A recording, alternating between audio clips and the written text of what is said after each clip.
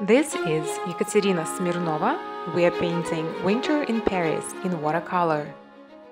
I've prepared a watercolor pad with applied masking tape on the perimeter. I have a sketch. There is my palette, and the colors are brown madder, ultramarine, neutral tint, and optional cerulean blue and rose madder.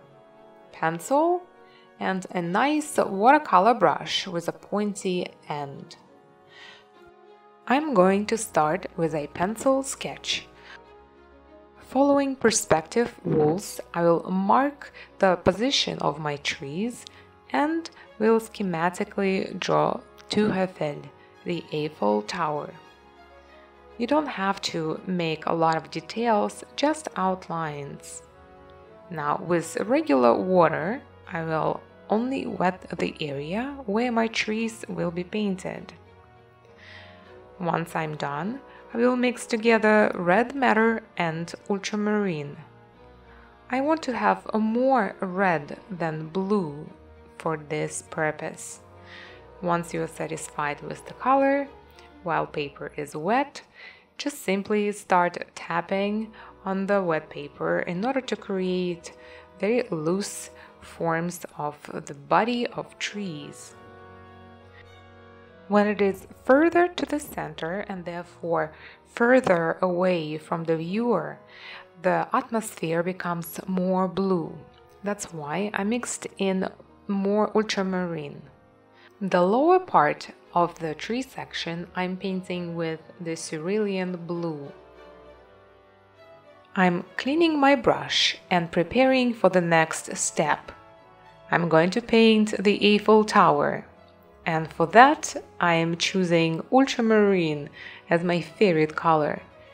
It is always handy to have a piece of paper on which you would to test your colors. So now, following my pencil sketch, I will simply paint the tower and uh, trying to be very careful not to paint over the trees so the colors don't mix. But you can see already it's mixed a little bit. I wouldn't worry about it because I know that I can fix it. So I'm going to speed up my video so you can see the creative process, but of course you will to take your time and uh, being careful will paint over the beautiful architectural detail on our painting. I would like to point out that your color should be very light. That means that you need to mix in generous amount of water. Also remember when the painting is dried, it's going to appear much lighter. I'm using a hair dryer to speed up the process of drying because for the next step you need your paper to be absolutely dry. This is your moment to use an eraser to remove extra pencil lines that are on your way. Once you're done, I am picking color brown, which I mixed of red madder and ultramarine blue, and will create the trunks of the trees. If the paper would be wet, you would not be able to make the shapes of the trunks, because the paint will be spreading around on the wet paper.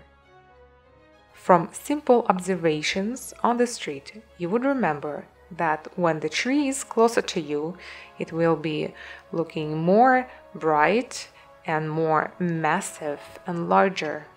When the trees are further in a distance, the trunks will be much slenderer, they will appear to be standing closer to each other, and they will be much smaller.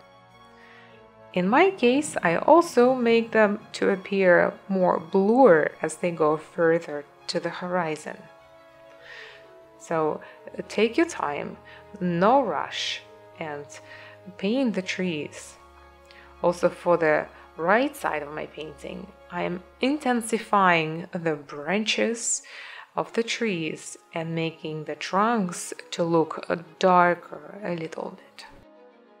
This maybe is the most complicated step of the process, so no rush. I'm mixing more color, ultramarine and red madder. Time to paint the tiny trees on the left side. Again, we're following the rules of perspective and I'm making the lines, uh, pencil lines stronger. Starting with the closest tree, it is a different type of tree. It's a, a pine tree, a fir tree. I'm going to create a whole bunch of trees, uh, making them smaller and disappearing further in the distance. I am also outlining the side of the road, which as well helps the perspective. I would like to add more details to the Eiffel Tower. I am using the same color ultramarine and uh, maybe the same opacity as last time or a tiny bit stronger and very carefully just adding shadows and some decorative details on the tower. Again, we don't have to be very precise and detailed because the tower is in the distance and it is disappearing and when it's further on the horizon all of the details are going to be merging with the atmosphere and a very intricate object can appear as just one solid color. I thought that my details were way too dark. That's why I will remove the extra paint with a kitchen paper towel.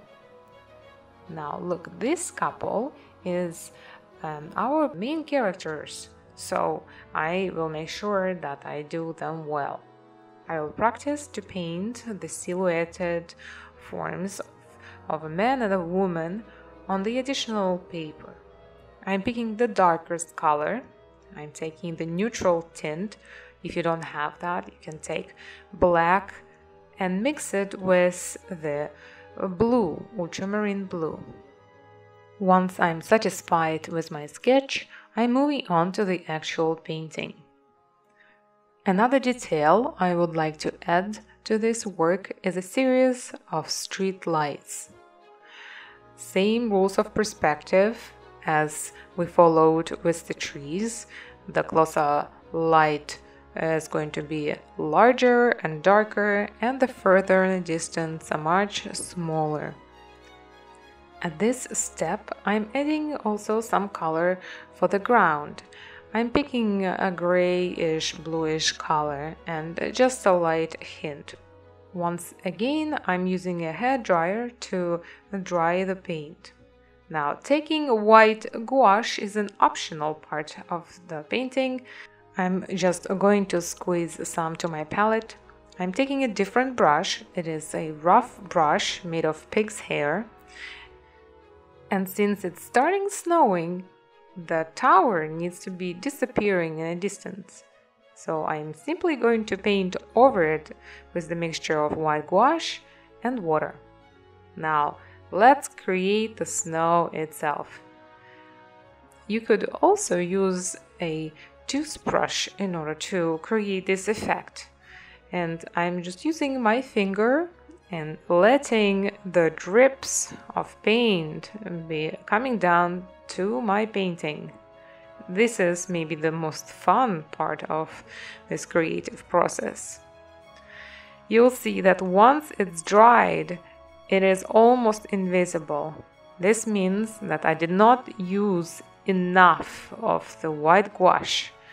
This is much more opaque mixture and again uh, we are going to do the same trick letting it snow all over the place have fun with this guys this is a lot of uh, exciting uh, splashes and drips make sure that your table is protected because you can see it goes everywhere I'm drying the painting once again with a hair dryer.